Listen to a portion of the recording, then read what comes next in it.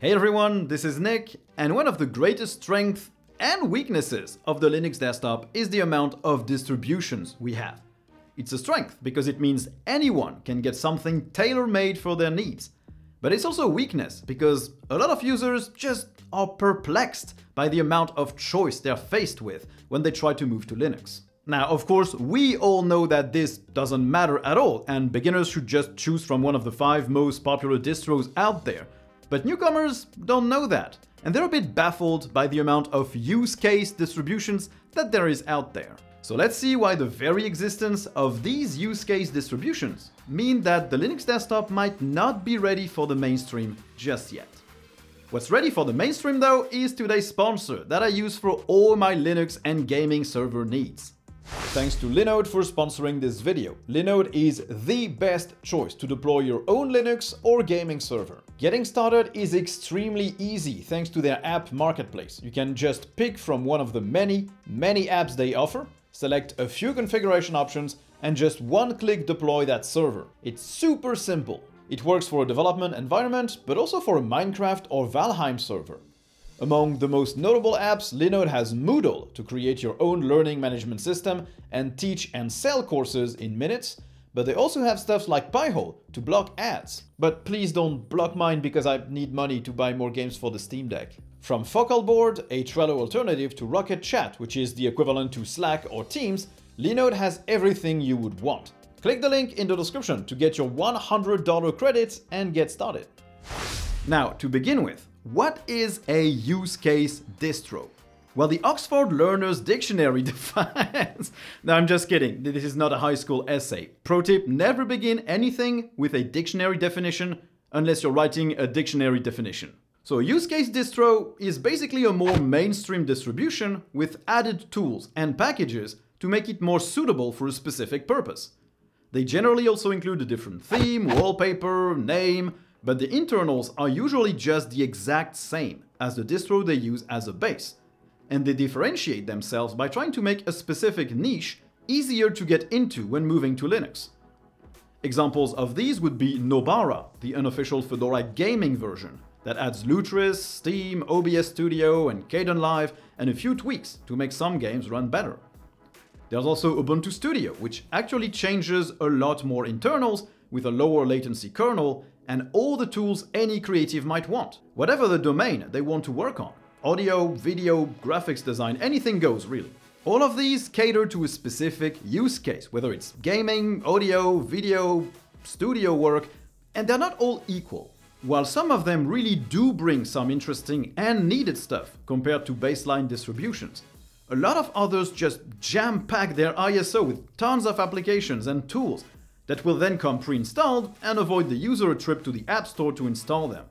And these use case distros, while they can serve a purpose, are a clear indication that Linux desktops just aren't completely ready or completely user-friendly enough. Now, don't get me wrong, this doesn't mean that these use case distros are useless. Far from it. That's the beauty of Linux. People who actually know what they want to do can get a system perfectly tailored for their needs, with the right kernel, the right tools, the right applications. For some people, using a mainline distro like Mint, Ubuntu, Fedora, or Arch is a pain. Every time they reinstall, they have to grab all their apps again, switch kernels, install what they really need, remove what they don't, and it can be time consuming, even if you don't reinstall every two months. Not everyone has distro hopping madness, you know, some of us do keep our installs for more than two months. These use case distros should not disappear. And I'm not saying they should be made obsolete or that their developers should all move on to work on more mainstream distros. After all, if they felt there was a need for their project, and if they have users, then they're probably right. There is a need for specific distributions that cater to specific needs. But these distros also create issues. The first one is that they make users doubt what they should install by making the choice too complex between the run-of-the-mill distros that everyone recommends and the use case distros that might provide an edge.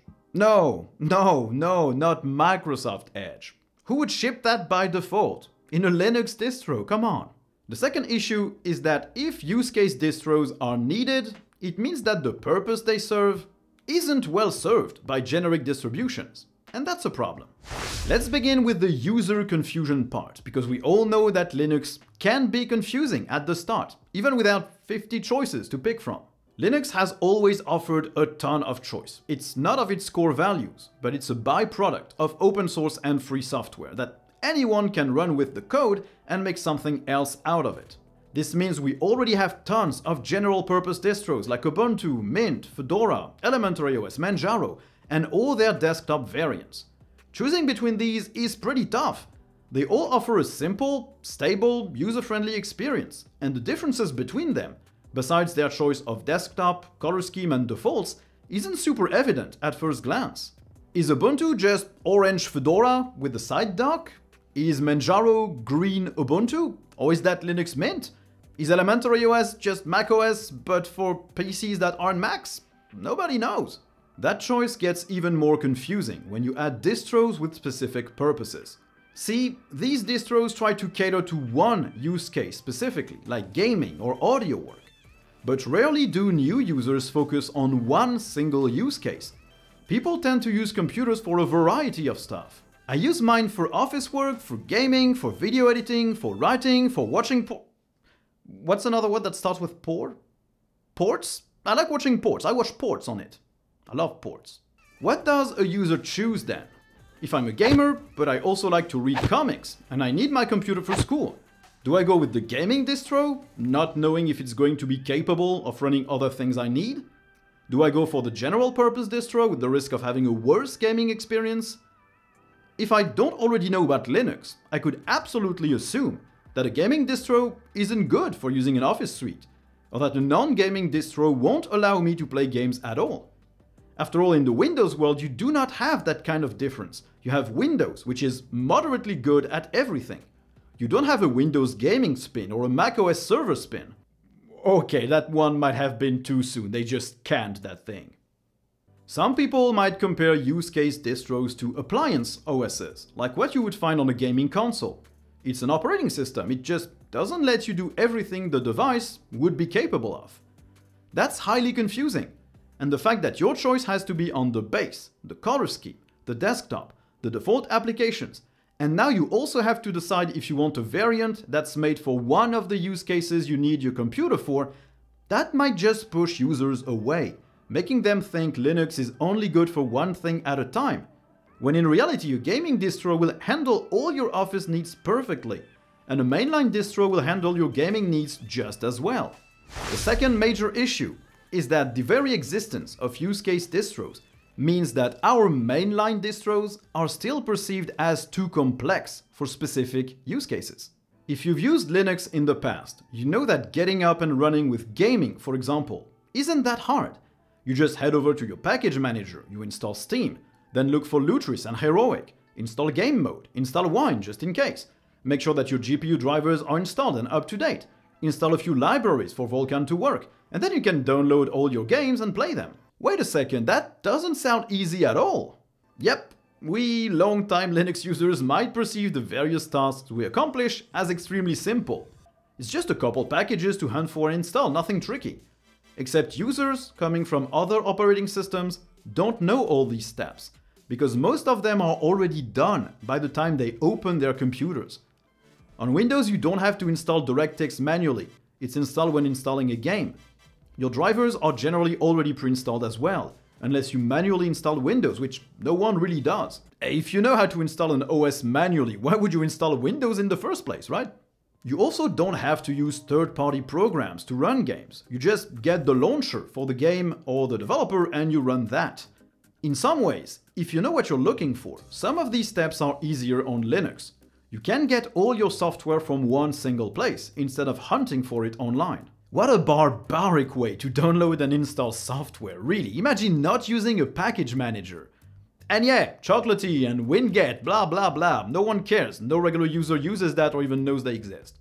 Drivers are also in your package manager or app store, or in dedicated utility. You do not need to go download them for the manufacturer's website. And Lutris lets you play games from all launchers instead of using three different ones. It can be easier if you know that you need all of this and that it's not pre-installed, but that's not the point. The point is it's not easy. It might seem like it is, because we knew the previous ways, which were even harder. But to a newcomer, that's a bunch of mumbo jumbo. And that's why we have gaming distros.